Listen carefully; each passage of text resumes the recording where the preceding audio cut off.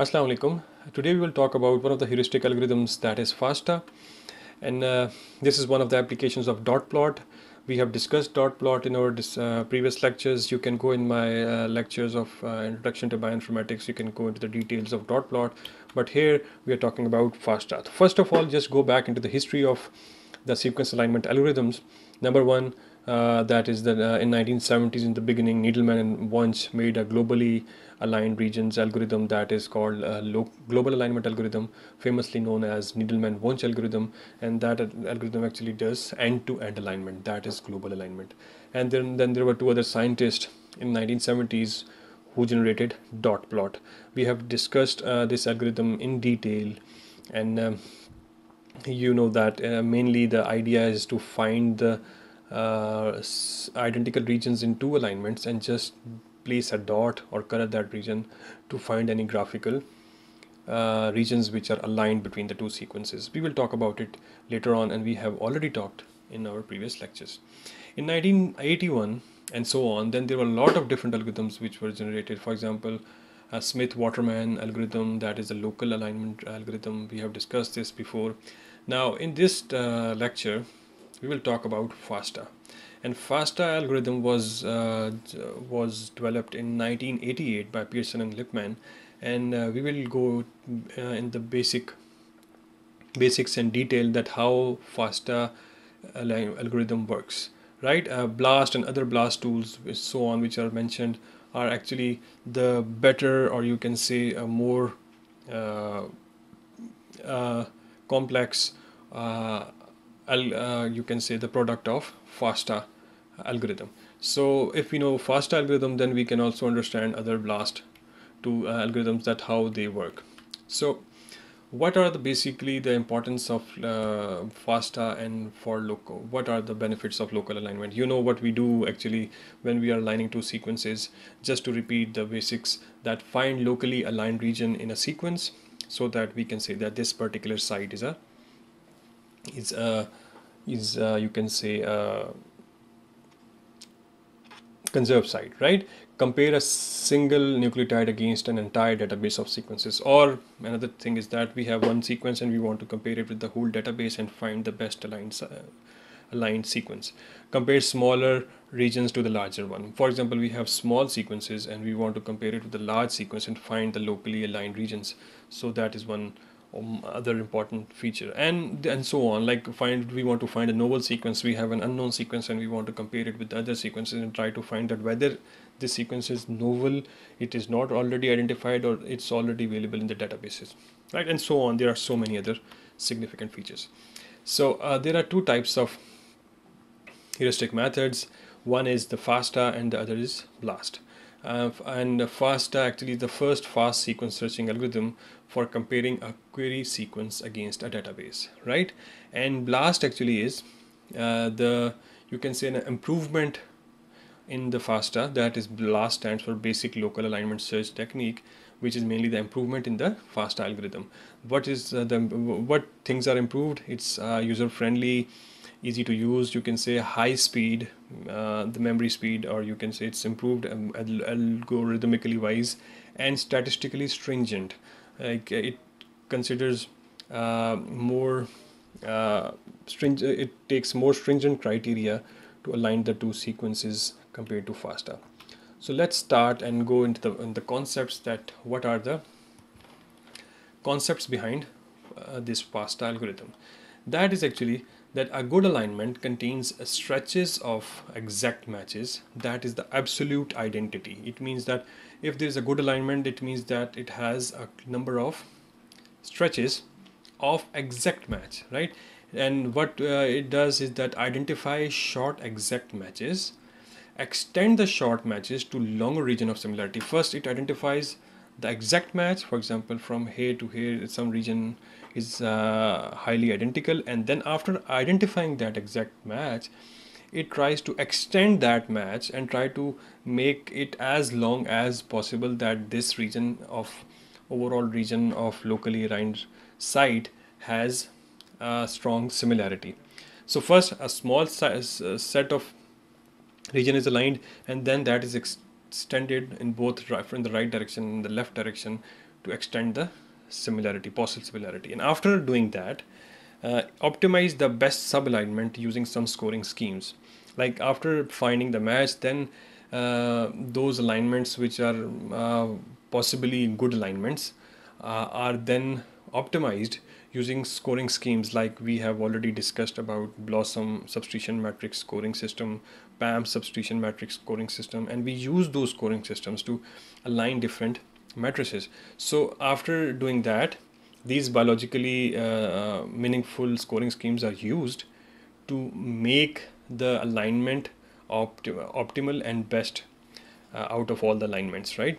So mainly this whole concept is derived from the logic of dot plot as you know and if you want to go into details of dot plot again I'll say you and go and watch the whole lecture so the general workflow of the FASTA is that uh, that the words are searched between query and template sequence to identify regions of similarity. It means that we have two sequences, just like we do in the matrix, that one is uh, is placed vertically and the other is placed horizontally, and then the regions uh, of identity, identical regions are searched in the in the in the matrix, and all those regions are colored uh, or uh, or or we show that this these regions are aligned so for that we search the words. Words uh, itself is um, uh, there's a specific meaning of word in a dot plot that is the that is the length of the sequence which we are aligning between the two matrices. For example dna length of 6 nucleotide.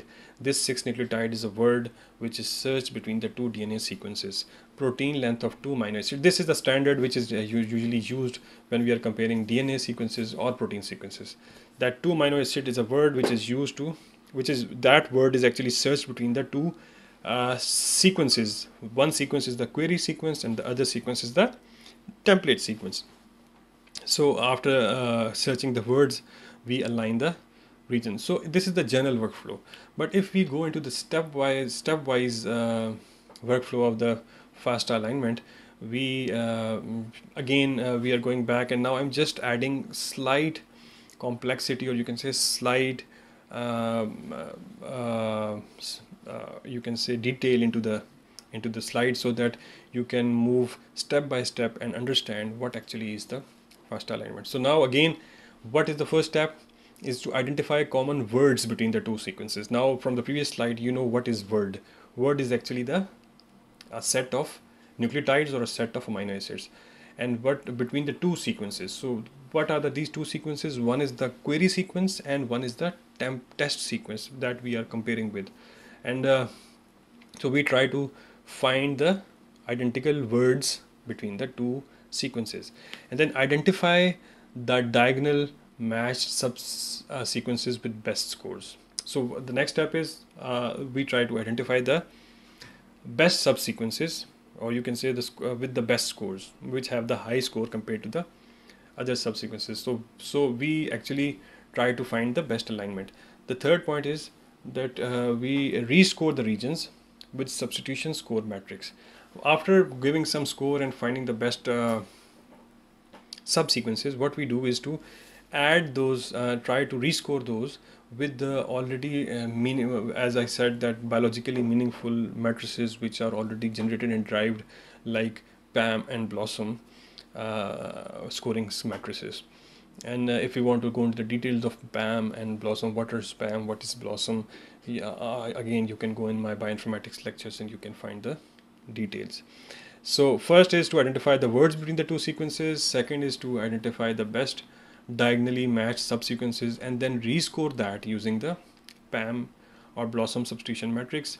And after doing that, join the best aligned regions together by adding gaps. So just add the gaps to align the uh, subsequences. I'll show you in the next slide that how basically the FASTA algorithm works and how it try to find the best locally aligned regions and then use the dynamic programming to derive the best alignment so dynamic programming is uh, is to find the best alignment out of all the aligned regions in one plot. I'll show you how uh, conceptually in the next slides. So for the first step, here you can see that there are two sequences. One is a sequence A, the other is a sequence B. And um, all the regions, for example, starting from this uh, first point to the last point and from here to there, they're all uh, each sequences aligned between the between sequence A and B and the, uh, all the regions which are identical are colored as dots and after placing all the dots we find this kind of plot that there are uh, multiple sides which are showing number of diagonal uh, you can say diagonal uh, diagonal aligned regions. For example this one this one all these are uh, diagonally aligned regions with variable lengths. So first thing is just uh, using the dot plot approach color all the aligned regions and then we can find the aligned regions. The next point is step is rescore them using PAM or Blossom substitution matrix. Now you can see why they are using the re uh, why they are rescoring using the PAM uh, BLOSUM matrices because any of the matrices we want to use that uh, then we can identify that out of all the sub alignments which alignment is giving us a better score compared to the uh, compared to the other uh, other sub alignments. So here you can see that one of few of the scores are bold compared to the light. So the bold actually means that these alignments have better score compared to the uh, compared to the other alignments. So what actually means the score? Score actually, if again you want to go into the details of how the scores are generated, then you can go and watch my lecture of PAM and BLOSUM. That's only five ten minutes lecture, but just to make you uh, more clear that higher the score means uh, there is a significant alignment and and there are uh, this uh, this alignment has a lot of matches with high uh, scores compared to the other alignments so uh, actually the what BLOSUM substitution matrix does is if we say that there is a higher the score better is the alignment. So this helps us to that's why we rescored this matrix using BLOSUM so that we can filter out uh, significant alignments out of the insignificant alignments. Or you can say to filter out the noise right? Now the next step so after rescoring we have just uh, excluded all the all the other alignments which are insignificant and now we are left with this one.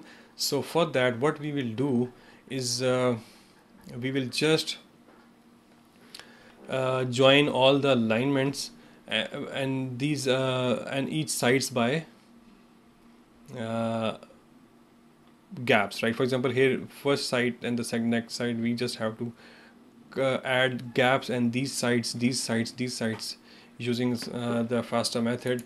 And uh, after that you can see that uh, out of all the possible sub alignments we have we had, this algorithm identified the best alignment with high score of PAM substitution matrix, right? So uh, uh, let's, if we say that uh, we move to the, so I think now it's clear to all of you that what actually FASTA does is using dot plot approach, they try to identify the aligned regions and then rescore that aligned using using some substitution matrix and then uses the uh, gap approach to uh, to align the whole locally aligned region. So our, our, um, by the end of this uh, lecture, you can see the, uh, these four steps. You can see that, uh, for example, if we go back, that first there was a there was a uh, region with multiple alignments, and that multiple alignments are then rescored using PAM substitution matrix, and then joins the gap. Uh, then the uh, unsignificant alignments are removed, and the gaps are joined to make to find the best optimal alignment right? So the, the, then uh, just to um, explain you further that uh, you know there is a, the when we run the fast alignment then we get this kind of result then that we are comparing two sequences and some regions are matched some regions are uh, mismatches and some are matches.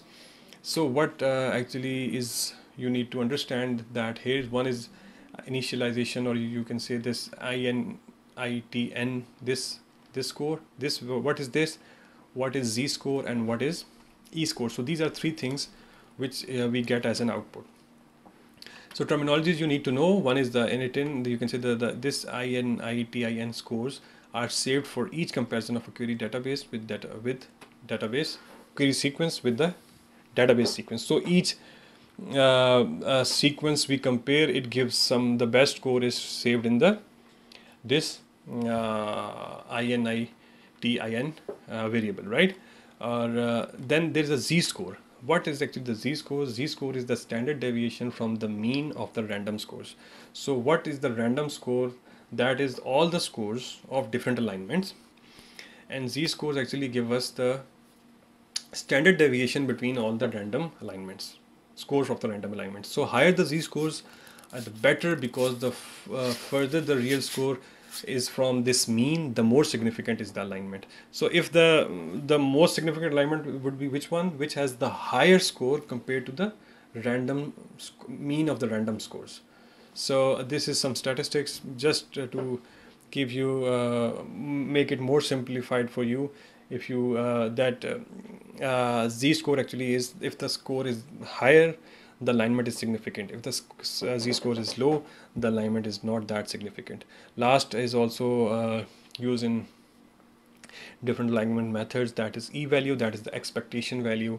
So again to simplify it the lower the e value the higher is the probability of the correct alignment.